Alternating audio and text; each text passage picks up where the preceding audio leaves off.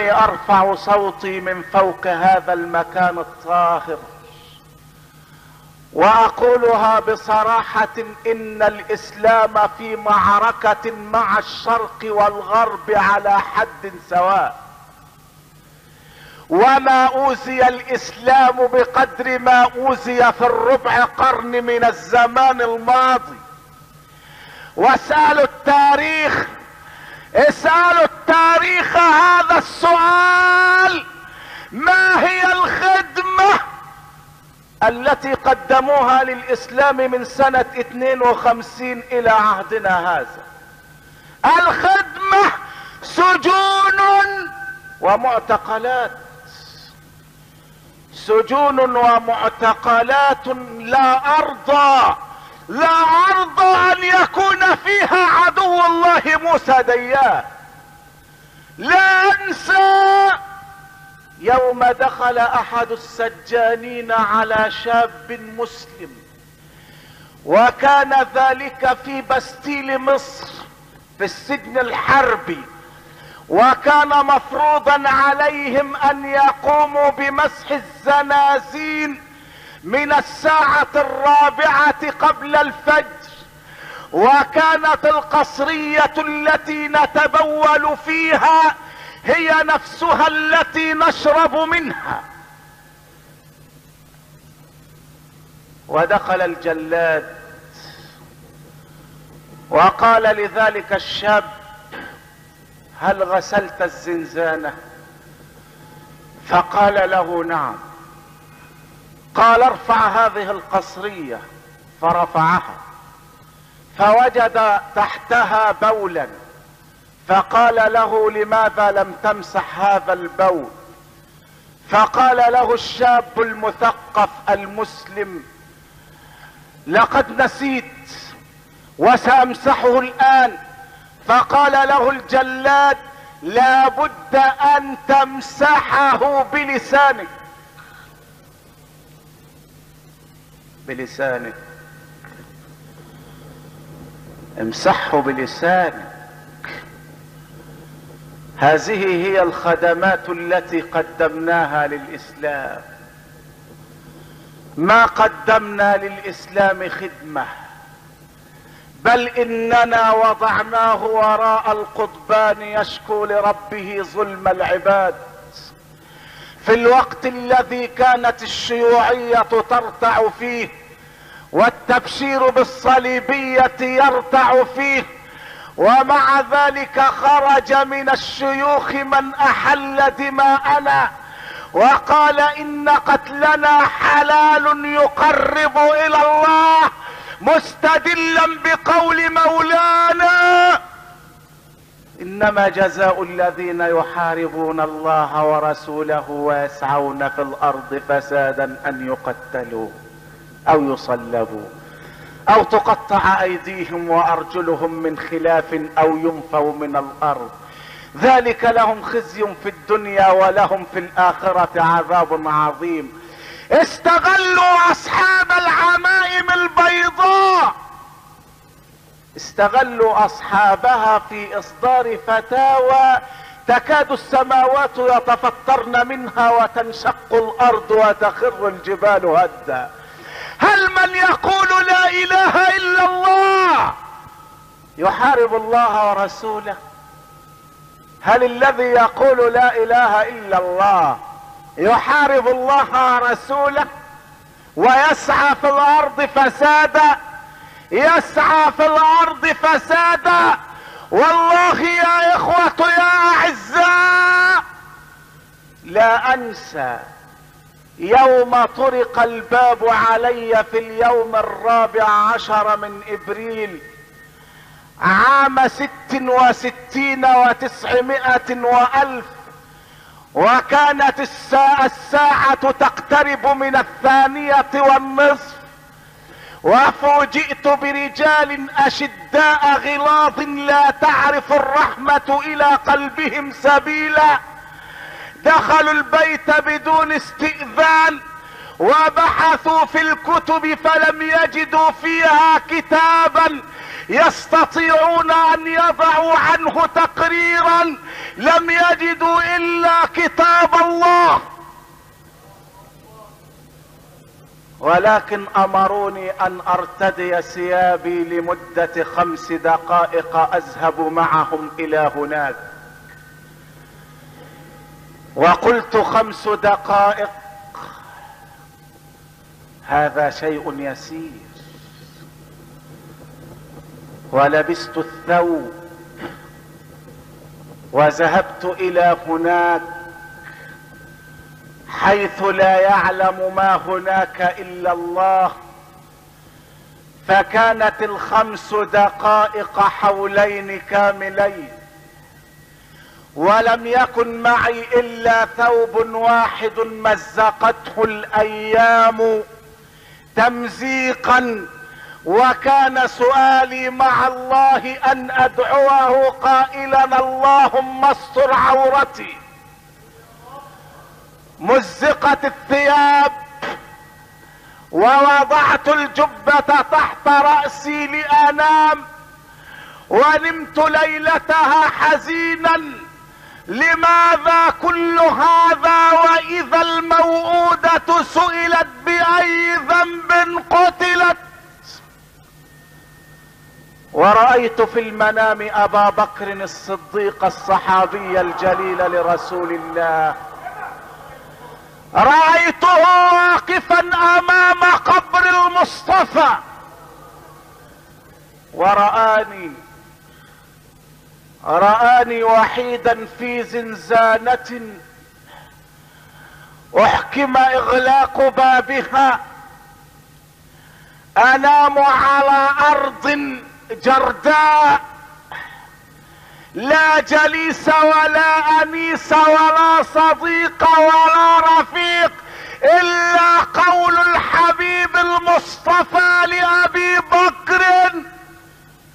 ما بالك في اثنين الله ثالثهما؟ اجعل الله صاحبا واطرح الناس جانبا. من أراد مؤنسا فالله يكفيه ومن أراد حجة فالقرآن يكفيه ومن أراد واعظا فالموت يكفيه ومن أراد الغنى فالقناعة تكفيه ومن لم يكفه شيء من هذا فإن النار تكفيه. ونظرت إلى الصديق وقد قرأت أوصافه في كتب السيرة ونظر إلي وكأنه يرى ما في نفسي. وقلت له أيرضي الله هذا يا صديق؟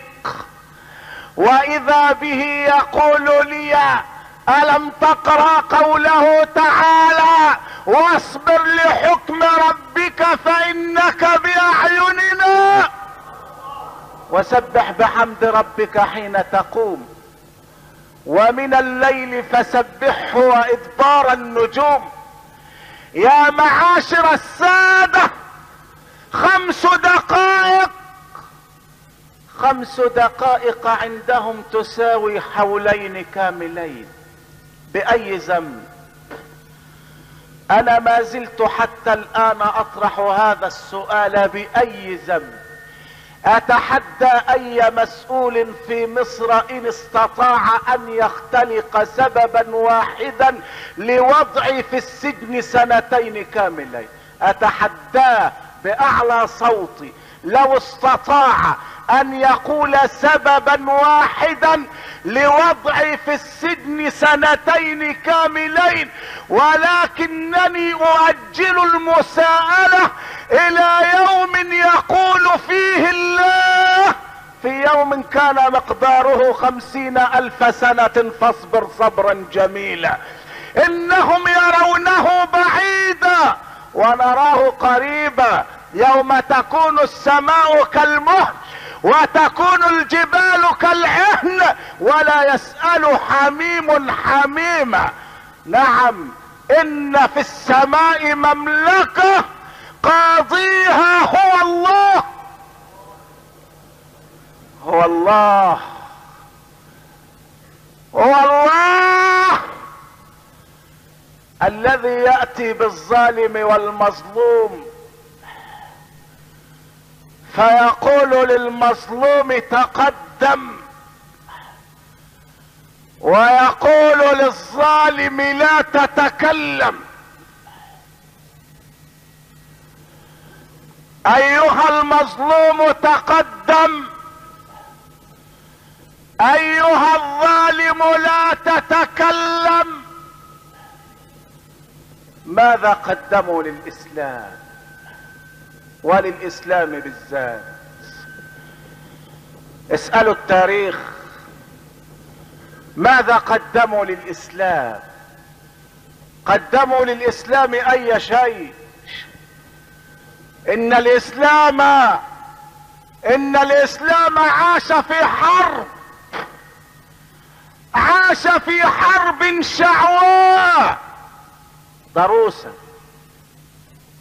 في حرب شعواء ضروس لا هوادة فيها. إنني أنادي على الأمة وأقول لهم احذروا الغزو الثقافي من الشرق والغرب على حد سواء. روسيا وأمريكا مختلفتان متنازعتان ولكنهما تتحدان إذا كان العدو هو الإسلام. إذا كان العدو هو الإسلام فلا خلاف بينهما ولا نزاع. لا خلاف ولا نزاع. نستودع الله دينك وأمانتك. يوم الخامس عشر من مايو واحد وسبعين يوم الصراع على السلطة. يوم الصراع على السلطة. يوم زلزلت الأرض تحت أقدام البقية الباقية من جبابرة مصر يومها. يوم سيق شعراوي وصبري وسامي. يوم سيق شعراوي. وإلى الله اشكوك يا شعراوي. كلما قدمت له كشوف الإفراج. ورسمي من بينها. أمسك بقلمه الأحمر وشطب على اسمي بالذات.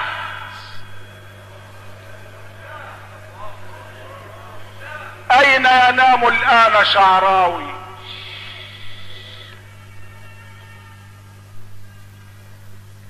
لي معك لقاء في ساحة العدالة.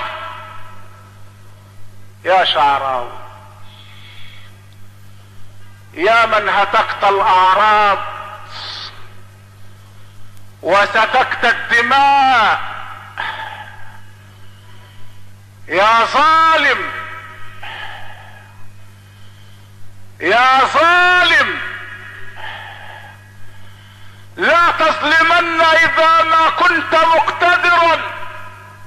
فالظلم ترجع عقباه إلى الندم. تنام عينك. تنام عينك والمظلوم منتبه يدعو عليك. وعين الله لم تنم. نام شعراوي في نفس المكان الذي نمنا فيه. والله الذي لا إله غيره. أقسم يمينا بالله غير حانث. لو أن اليهود هم الذين اعتقلونا وأشرفوا على إدارة السجون ما فعلوا بنا معشار ما فعل بنا هؤلاء. يمينا بالله ما فعلوا بنا. معشار ما فعل بنا هؤلاء. أسمعت بالإنسان ينفخ بطنه حتى يرى في هيئة البالون. أسمعت بالإنسان يوضع رأسه في الطوق حتى يبتلى بجنون أسمعت بالمظلوم يلهب ظهره حتى يقول أنا المسيء خذوني. اسأل ترى الحربي أو جدرانه كم من قتيل تحته وطعين. من ظن قانونا هناك فإنما قانونهم هو حمزة البسيون لا. اليهود قوم عقلاء. ليسوا برابرة. أما شعراوي وفرقته شعراوي وصبري وسامي وشمس وغيره ممن أحصاهم الله في قائمة سوداء. هؤلاء ليسوا مصريين وليسوا من أهل بلدنا ليسوا من أهل جلدتنا. لو وزعت قسوة قلوبهم على أهل الأرض ما بقي للرحمة سبيل إلى قلب واحد من الناس. هؤلاء الناس الذين كووا ظهورنا بالكهرباء. أسلاك الكهرباء تسلط على الأحياء. أعقاب السجائر تطفأ في الظهور العارية. في المواضع الحساسة في القبل والدبر. نساء عاريات يعلقن من أرجلهن. أطفال في سن الرضاعة. زنازين ملئت بالماء حتى الصدر والبرد شديد. والبرد شديد. اظافر تقلع اقتلاع سلخ للجلود وضع للآدمي في ابار المجاري. ولقد كرمنا بني آدم في ماء المجاري في ماء المجاري. يا رب أنا ما تعديت القناعة والرضا. لكنما هي قصة الأشجان. أشكو وفي فمي التراب وإنما أشكو مصاب الدين للديان. اذكروا يوم الخامس من يونيو والثامن والعشرين من سبتمبر والخامس عشر من مايو. وقف الزعيم الملهم يومها أمام قبر لينينا في موسكو. يعلن قرارا باعتقال ثمانية عشر الفا في يوم ستة سبتمبر خمسة وستين. بينما وقف محمد بن عبد الله يوم الفتح يقول لأهل مكة ما تظنون أني فاعل بكم؟ اسمعوا. اسمعوا وقارنوا بين الرجال. قارنوا بين القادة. أهل مكة الذين حاربوه إحدى وعشرين عام. أخرجوه من بلده. ما تظنون أني فاعل بكم؟ قالوا خيرا أخ كريم وابن أخ كريم. فماذا قال؟ هل أصدر أمره إلى مشيره إلى المشير. باعتقال أهل مكة؟ لا. قال لهم أقول لكم كما قال أخي يوسف لا تثريب عليكم اليوم يغفر الله لكم وهو أرحم الراحمين. اذهبوا. اذهبوا فأنتم الطلقاء. وصدر قرار عفو شامل. قرار عفو شامل. والنبي يتكلم من أعلى مستوى. قرار عفو شامل. بينما كان معنا في السجون شيوخ فقدوا البصر. وشيوخ زاد سنهم على الثمانين وخرجوا موتى من سجن أبي زعبل ولم يسمح لهم بعفو صحي بعفو صحي. وتعبت في السجن اصبت بتعب. وكشف علي طبيب اسمه موريس وقال مما تشكو قلت له أشكو من قدمي. فقال لي متهكما بطلوا صلاة بطلوا الصلاة وسكت. سكت في نفسي مرارة. وقلت إذا وصف الطائي بالبخل مادر وعير قسا بالفهاهة باقل. وقال السهى للشمس أنت ضئيلة وقال الدجى للصبح لونك حائل وفاخرت الأرض السماء سفاهة وطاولت الشهب الحصى والجنادل فيا موت زر إن الحياة مريرة ويا نفس جدي إن ظهرك هازل قواد السجون ناصف مختار مسيحي قائد طرى فوزي خليل مسيحي قائد أبو زعبة الأطباء مسيحيون حتى كان الواحد إذا دخل على الطبيب يقول له بعنجهية قف بعيدا عني! لأنك جربة. النصراني يقول للمسلم ابعد لأنك جرب.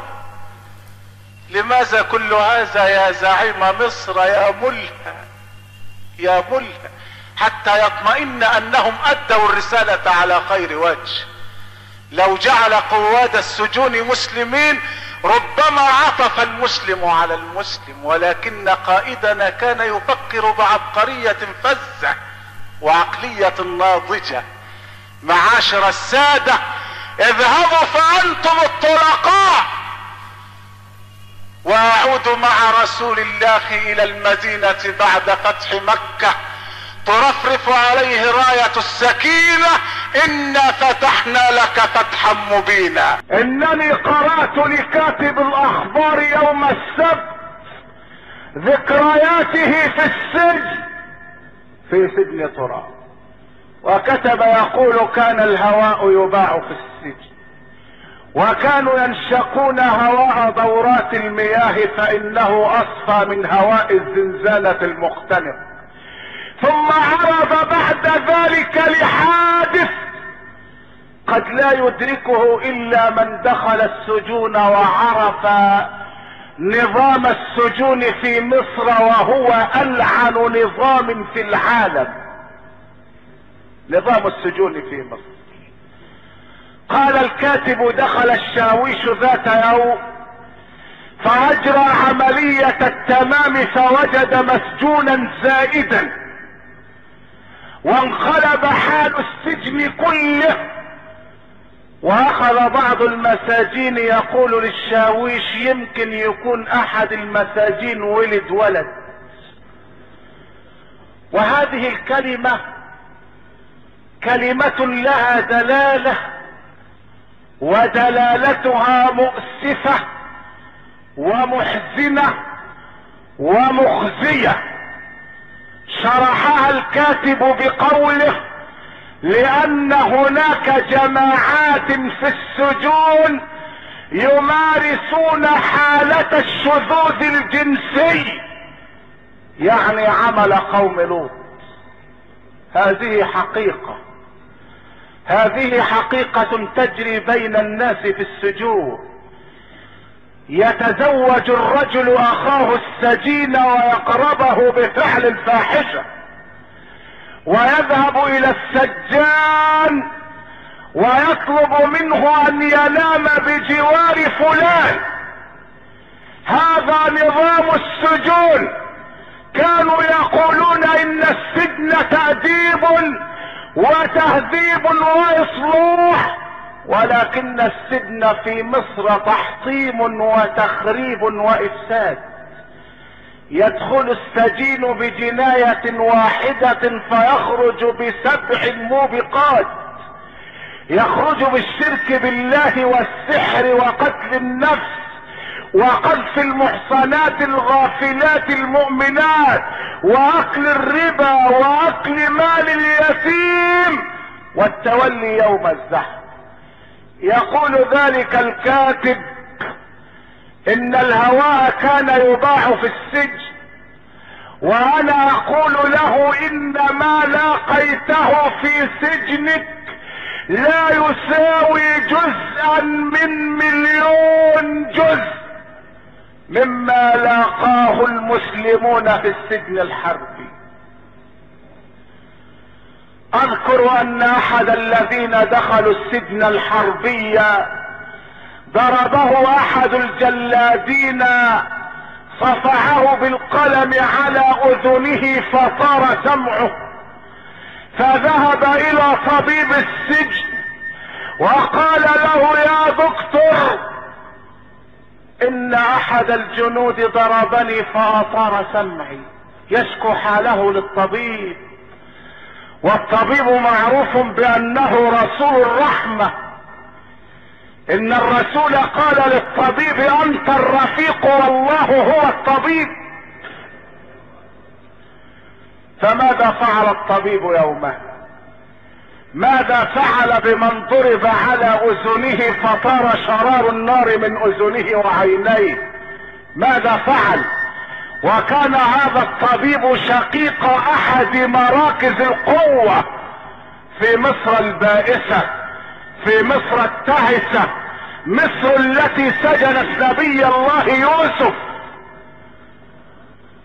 قال له الطبيب أي أذنيك؟ أي الأذنين أصيب؟ فأشار له المريض على أذنه التي أصيبت وإذا بالطبيب يرفع يده ويصفعه على أذنه التي أصيبت يضربه ليكمل له الدادان. ويقيل له الصاع صاعين. إذا كان هذا خلق الطبيب فكيف يكون خلق الجلاد؟ ان ما لقيته يا كاتب الأخبار لا يساوي من مليون جزء. كانت هناك صدمات كهربائية عنيفة. كان هناك إطفاء أعقاب السجائر في الأماكن الحساسة من الجسم. كان هناك زنزانة تملأ بماء المجاري. ويقف المظلوم فيها. فإذا أخذه النوم سقط في ماء المجاري فمات. كان هناك طريقة تسمى الموت الصامت. الموت الصامت عبارة عن أن يدخل الجبار من الجبابرة فيمسك بخصية المظلوم فيفركها بين يديه فيموت. كان هناك طريقة تدعو إلى تسميم الدم بدون أذى. قطعة من البلستر توضع على فتحة الذكر وضعا متمكنا وتربط يدا المظلوم ويحبس البول فيه فلا يستطيع أن يصرف البول فيموت مسموما. ومع هذا كان هناك رب كان هناك من يقول ولا تحسبن الله غافلا عما يعمل الظالمون. إنما يؤخرهم ليوم تشخص فيه الأبصار وقد يكون لله تعالى حكمة بالغة أن يدخل كاتب الأخبار السجن ليكتب فإنه يستطيع أن يكتب ويستطيع أن ينشر. ليرى حال الناس وكيف كانوا يعانون. وكنا نحن في الشوارع ننادي قائلين كانوا يريدون أن يقتلوا المطرب شدية وهل في قتل شدية إصلاح؟ كانوا يكرهون كوكب الشرق وكيف يكرهونها وهي التي تقول ولد الهدى. كانت هذه أقوال الناس يومها. ويوم ارتفعت أسعار المكرونة والرز غضب العباد. ما غضبوا لله مرة وإنما غضبوا عندما ترتفع أسعار الوصى وإن انسى لا انسى هذا اليوم الذي مر فيه مدير المعتقلات. كان في مصر إدارة تسمى إدارة المعتقلات. مر بنا مدير المعتقلات ونحن في العنبر رقم أربعة في سجن طرى فوجد صفيحة تراكم عليها الصدى وفي قاعها بعض حصاة الملح. فنادى على قائد المعتقل وقال أتحضر لهم ملحا؟ هل هم يقضون مدة العقوبة ليتمتعوا بالملح؟ حسدنا على الملح الخشن. لم يرضى لنا سيادة المدير أن نذوق ملحا تراكم عليه الصدى وأكل عليه الزمان وشرب واستنشق وتمضمض. والله يعلم أن سيادته تنتظره سيارة فاخرة خارج السجن. وتنتظره فيلا انيقة وسهرة حمراء يقضيها في الدنيا لتكون امتدادا له في العذاب يوم القيامة.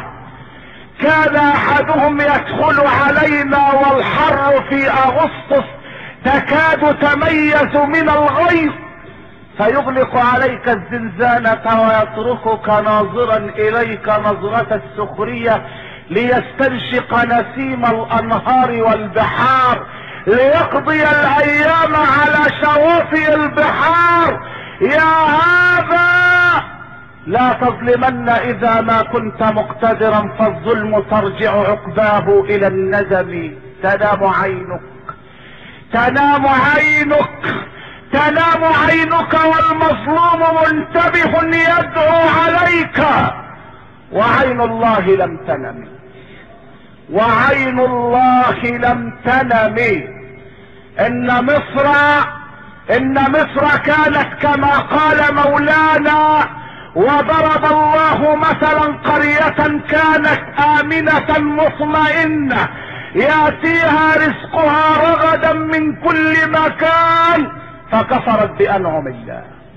عندما ظلمت وعندما بطشت وعندما تلبت وعندما نهبت فأذاقها الله لباس الجوع والخوف. لم يقل فألبسها الله لباس الجوع والخوف إنما قال فأذاقها الله لباس الجوع والخوف. لو قال ألبسها لباس الجوع والخوف لكان اللباس من فوق جسدها. ولكن أذاقها اللباس الإذاقة تكون في أعماق النفس واللباس يكون متمكنا من خارج النفس فهي في الداخل والخارج جوع وخوف. بما كانوا يصنعون. بما كانوا يصنعون. إنهم كانوا إذا قيل لهم لا إله إلا الله يستكبرون. فكانت النتيجة كما نرى. عندما ألقي بيان منذ أيام في مجلس الشعب كان الشعب كله ينتظر من رئيس الوزراء كلمة واحدة لا ثانية لها. كل الجالسين حول أجهزة الإعلام كانوا ينتظرون كلمة واحدة لا يريدون سواها. ألا وهي أن يقول لقد رفعنا المرتبات ولكن لم يسمعوها. وقال إننا سنلغي الادخارات على من قل مرتبه عن ثلاثين جنيها. قال أحدهم يجب أن يكون الإلغاء عن الكل فقال إن هذا يكلفنا الكثير. وقاموا يجرون وراءهم أزيال الندم.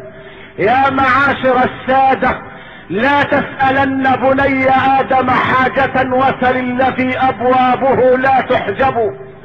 الله يغضب إن تركت سؤاله وترى ابن آدم حين يسأل يغضب. إن عمر بن الخطاب لما تناول الخبز والملح قال لعامله خيرا فيما آتيتنا. قال له يا أمير المؤمنين هذه هدية أرسلها أمير أذربيجان إليك ففتحها أمير المؤمنين فإذا هي علبة بها بعض الحلوى. أحد الأمراء يريد أن يقدم هدية لعمر. وإذا بعمر يوجه هذا السؤال للعامل اكل المسلمين أعطيتهم هكذا؟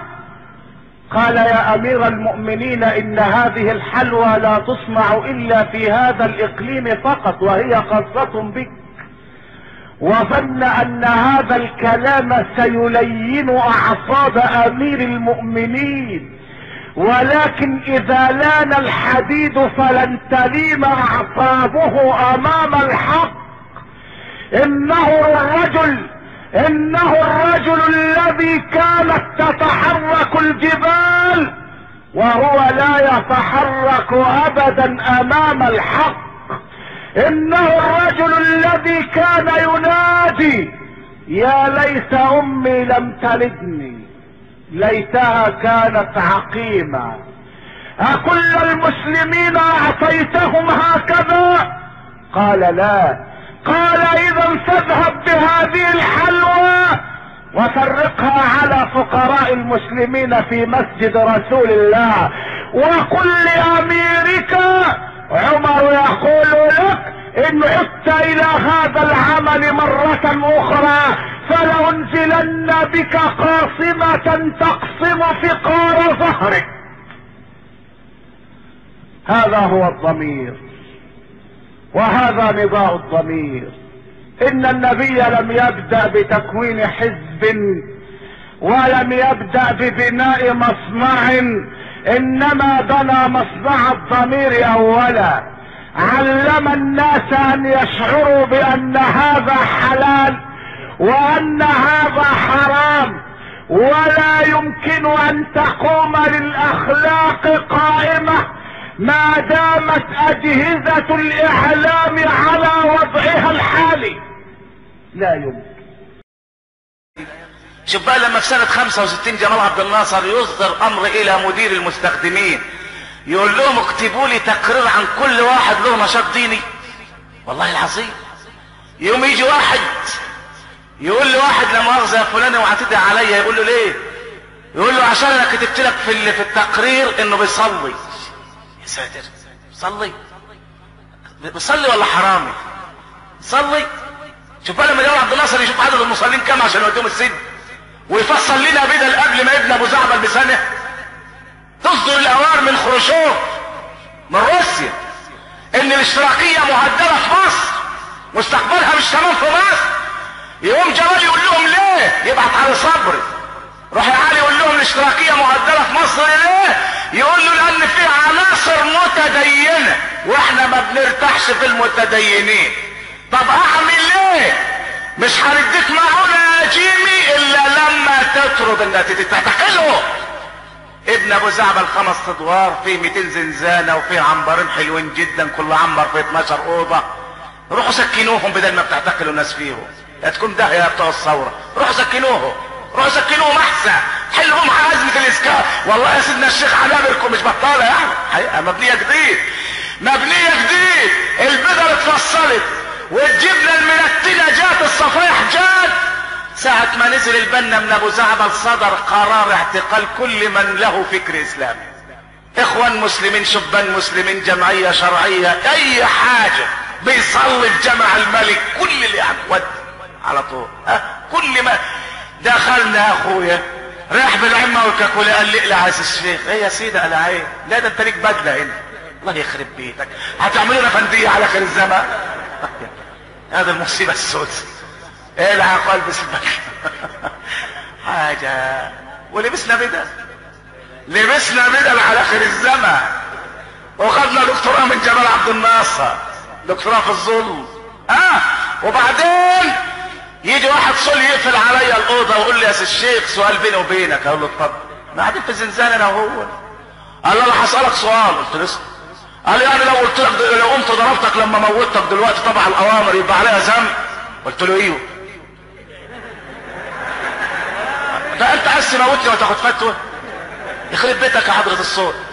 عايز تموتني وأديك فتوى؟ قال لي طب عليها ذنب ليه؟ ده أنا عبد المأمور قلت له لا. عليك ذنب؟ اضرب على الحيطة وأنا حاول يا رب. بس. تضربني أنا ليه؟ أنا عملت فيك حاجة.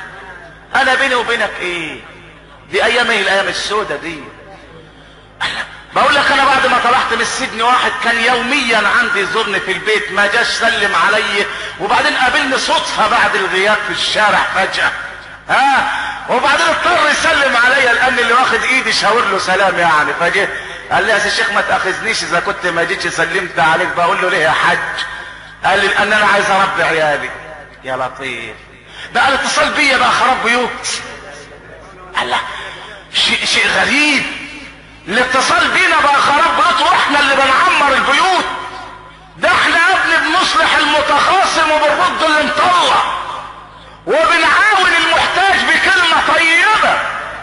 أصبحنا في دوائر حمراء. أصبحنا خطرين على الأمن. في بلد ضاع فيها الأمن. هكذا أراد الظلم. قلت له يا ابن رب عيالك الله يبارك لك. روح يا ابن رب عيالك. ما دام يا ابن اتصالك بيا هيموتك أو يوديك في داهية روح رب عيالك. شوف الدنيا شوف لما ياخدوا تقريرات مين اللي بيصلي؟ طيب خلاص. أخرجوا آل لوط من قريتكم إنهم أناس يتطهرون. دخلوا الناس اللي بتصلي السجون وخلوا الحرامية بره أهو النهارده مصنع ايديال انحرق تاني مرة ما فاتش شهر. الحرق تاني مرة. اختناق خمسة وثلاثين عامل وخسائر بعشرين ألف جنيه طبعا دي, دي أبو لمعة. تحط جنب العشرين ألف نقطتين كمان شوف النقط بقت كام ونازلة عليهم نقطة كتيرة اوي آدي. آدي الناس اللي بتصلي. وهو أنتوا تقدروا تصلحوا. إلا بمعرفة الله. إلا بالرجوع إلى الله.